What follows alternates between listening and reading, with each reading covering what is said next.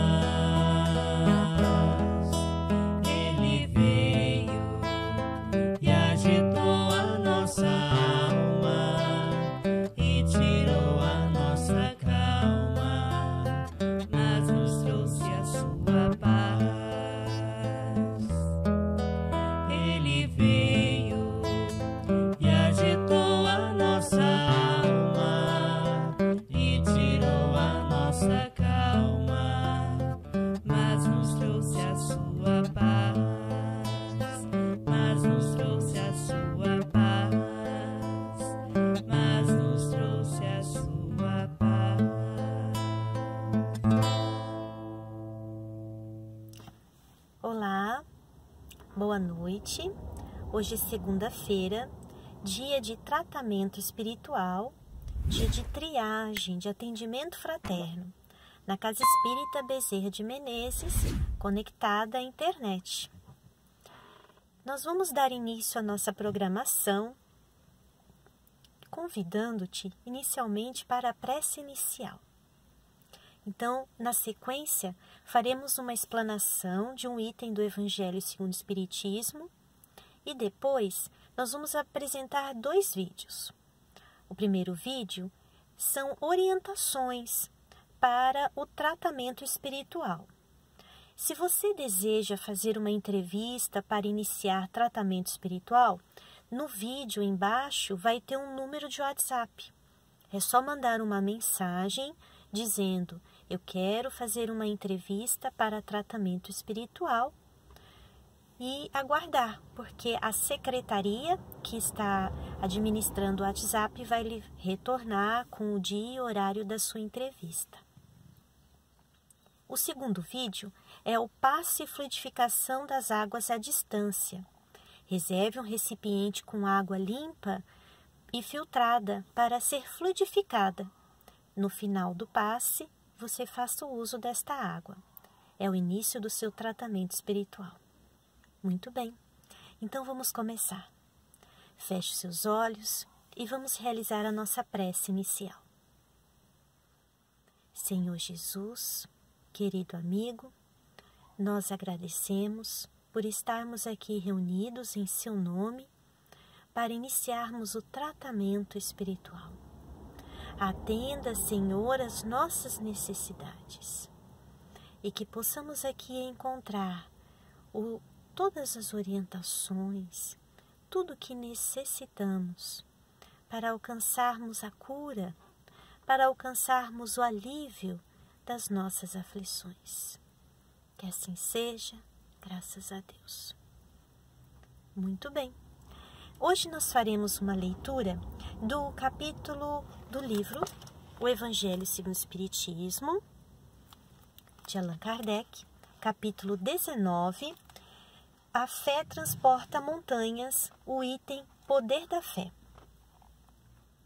Então eu farei uma leitura de uma passagem que está no Evangelho de Mateus, capítulo 17, versículos 14 a 20, que diz assim: Quando foi ao povo, um homem se aproximou dele e se pôs de joelhos aos seus pés, suplicando-lhe: Senhor, tende piedade de meu filho, que é lunático e sofre muito, pois ele tomba frequentemente no fogo e na água Apresentei-o aos seus discípulos, mas não puderam curá-lo.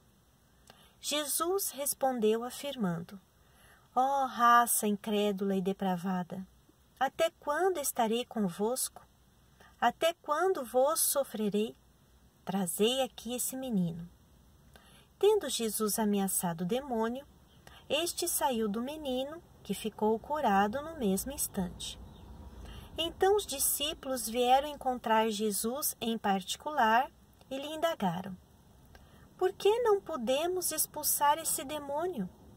Jesus lhes respondeu: Por causa da vossa incredulidade. Porque em verdade vos digo que, se tivesseis fé do tamanho de um grão de mostarda, ordenaríeis a esta montanha: Transporta-te daí para lá e ela se transportaria, e nada vos seria impossível. Então, meus irmãos, na sequência, há uma pequena passagem de Kardec e que ele faz essa reflexão. No sentido próprio, é certo que a confiança em suas próprias forças torna o ser humano capaz de executar coisas materiais que não consegue realizar quando se duvida de si. Mas aqui é unicamente no sentido moral que se deve entender tais palavras. Então, quando Jesus fala sobre as montanhas, ele está falando sobre as dificuldades, as resistências naturais das outras pessoas, eh, sobre os obstáculos que precisam ser superados, os problemas que precisam ser resolvidos para que nós possamos alcançar aquilo que desejamos. Quando nós temos vontade, nós fazemos acontecer. Nós vamos atrás das pessoas para buscar ajuda, a gente administra o tempo, a gente prioriza aquilo que é necessário, a gente faz acontecer. Então, é nesse sentido que o Evangelho nos no, que, o, que o Evangelho de Jesus nos ressalta. É, acreditemos, acreditemos em nós. A fé que Jesus fala não é só a fé em Deus, também é a fé em Deus, mas também é a fé em nós mesmos, nas nossas capacidades, na nossa capacidade de superação, na nossa inteligência de administrar, de fazer, é, de falar com as pessoas certas. Temos que ter fé no outro. Temos que acreditar no outro também. Temos que é, acreditar que ele também vai ser capaz, que ele também vai dar conta de fazer, né? Que não é só nós que damos conta, os outros também. Não é só nós que sabemos fazer, os outros também. Então, assim, ter fé no outro, ter fé em Deus, ter fé na vida. Acreditar que as coisas vão caminhar no sentido da resolução, que o tempo vai administrar de forma adequada. Então, essa é a, a grande lição que Jesus nos traz sobre o sentimento da fé. E continua, Kardec continua aqui. Ó. As montanhas que a fé remove são as dificuldades, as resistências e, em uma palavra, a má vontade que se encontra entre os seres humanos, mesmo quando ele se ocupa das melhores coisas os preconceitos que se originam na rotina, o interesse material, o egoísmo, a cegueira do fanatismo e as paixões orgulhosas são também montanhas que barram o caminho daquele que trabalha pelo progresso da humanidade. Então, quando Jesus nos disse que se tivesseis fé, ordenarias esta montanha, transporta-te daí para lá, e ela se transportaria, ele está se referindo que quando nós acreditamos em algo, quando acreditamos que somos capazes, nós superamos essas dificuldades. A gente não deixa de fazer aquilo que é necessário porque o outro acha ruim, porque o outro tem um preconceito, porque o outro quer barrar. A gente vai resolvendo problema por problema dificuldade por dificuldade, sem pressa, mas com consistência, sem pausa, com persistência. E assim as coisas vão caminhando no sentido da resolução. Acreditemos, meus irmãos. Então, nesse momento, nós vamos fazer a prece de encerramento e, na sequência, nós teremos então os dois vídeos. O primeiro sobre orientação para o tratamento espiritual e o segundo do passe à distância. Vamos então fechar os nossos olhos. Senhor Jesus, querido amigo, sustente a nossa fé, Senhor. Atenda às nossas necessidades. Acreditamos, Senhor, que somos capazes. Acreditamos, Senhor, no teu amor, que é infinitamente bom. Acreditamos, Senhor, que o Senhor nos protege, que o Senhor nos guia e que tudo segue os planos maravilhosos de Deus, que é infinitamente justo. Graças a Deus que assim seja. Meus irmãos, tenham uma boa noite e um bom início de tratamento espiritual. Até a próxima.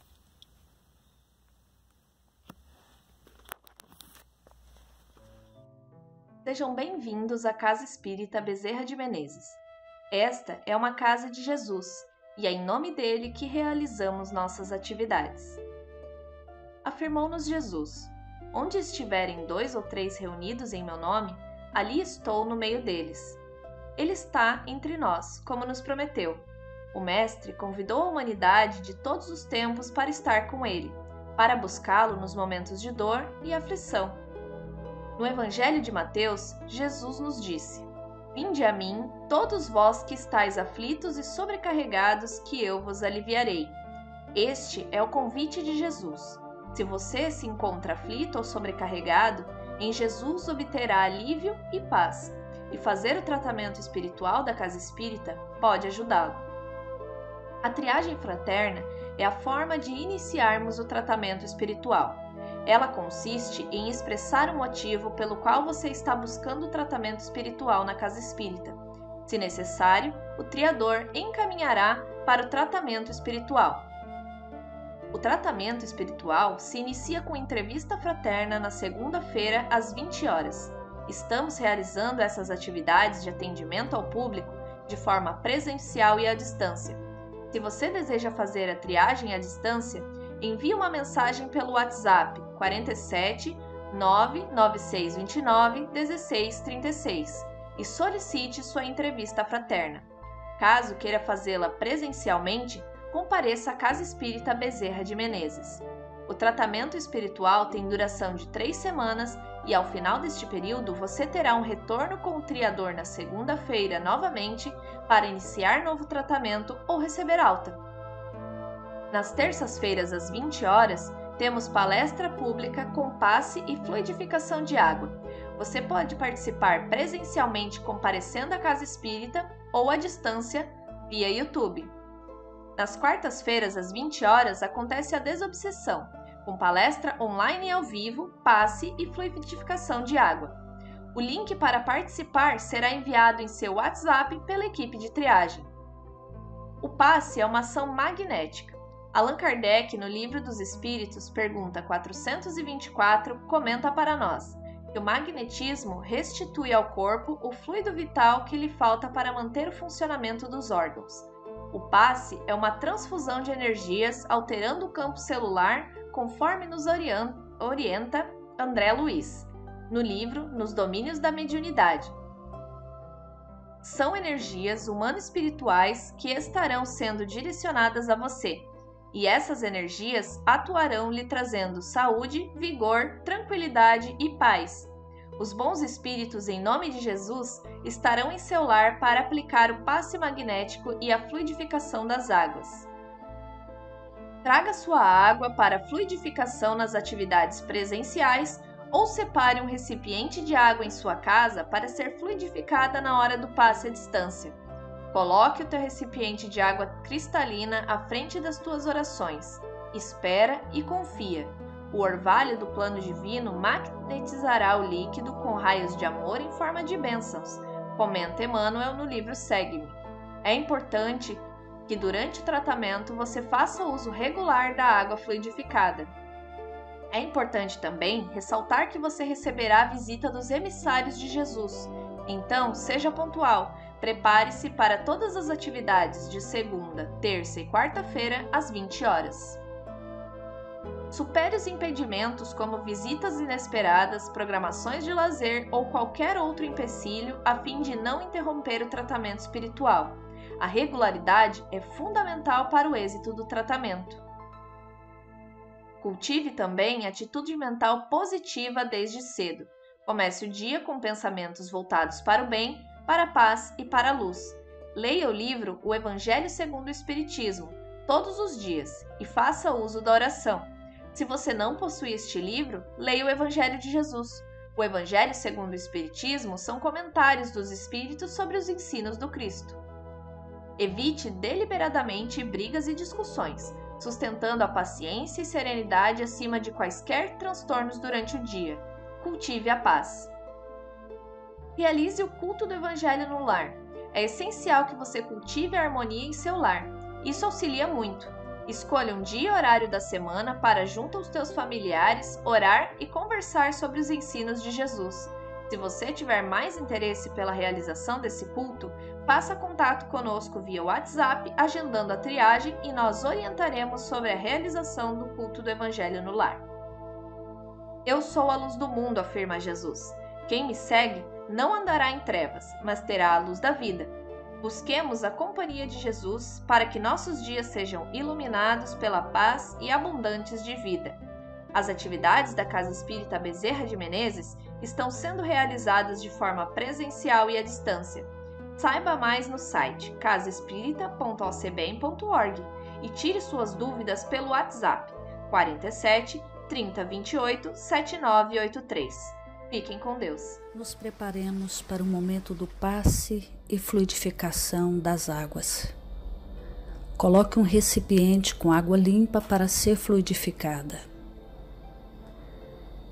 Irmãos, não importa aonde você está, Quais as dificuldades que está enfrentando? Jesus está sempre pronto para vir em nosso socorro. Coloque-se de maneira confortável que lhe facilite a concentração e a receptividade. Respire lenta e tranquilamente. Inspire, expire. Inspire, expire. Encha seus pulmões de ar e solte bem devagar. Deixe que energias de tranquilidade e paz penetrem seus pulmões, circulem por todo o corpo. Sua alma, em harmonia com o corpo, se sente tranquila e em paz. Mentalizemos a passagem de Jesus, dia claro, os raios dourados do sol iluminam a paisagem alegre de Cafarnaum. Casario branco, trepadeiras multicoloridas e pássaros saltitantes enchem a paisagem de otimismo. A notícia das curas atraía a multidão dos necessitados. Subitamente Jesus aparece, esguio e belo a túnica desce-lhe até os pés. Ao pôr do sol, todos os que tinham doentes atingido de males diversos traziam-nos, e ele, impondo as mãos sobre cada um, curava-os. Assim narra o evangelista Lucas. Mentalize Jesus se aproximando de você ele impõe as mãos amigas sobre a sua cabeça. Perceba que de suas generosas mãos cai uma cachoeira de águas claras e puras, vindas do seu amor a te banhar.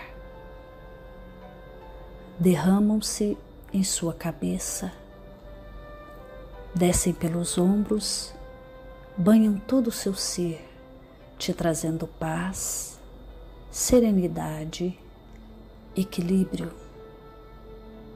Limpam todas as impurezas e te pacificam. Sinta estas águas te banhando, limpando. Respire. Mentalize agora Jesus como sol diante de você sua luz, seu calor te envolvem. Sinta as energias curadoras que emanam do Cristo em sua direção.